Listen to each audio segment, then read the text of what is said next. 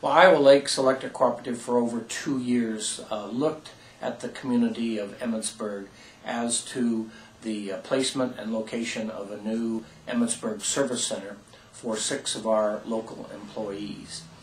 And uh, finally, uh, with the result coming from uh, our decision to locate locally, uh, we decided to locate in Emmetsburg's new industrial park.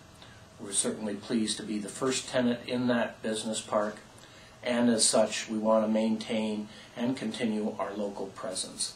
That local presence is enhanced by a new $1.5 million service center building that replaces an over 50-year-old building um, just two blocks to the to the west.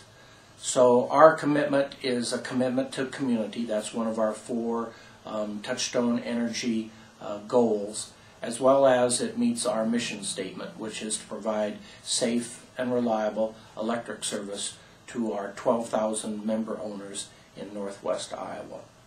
With that said, uh, again, we greatly appreciate the the benefits and uh, advice and counsel that we've received from the local economic development officials in Emmetsburg and the courtesies that we were extended um, during our construction.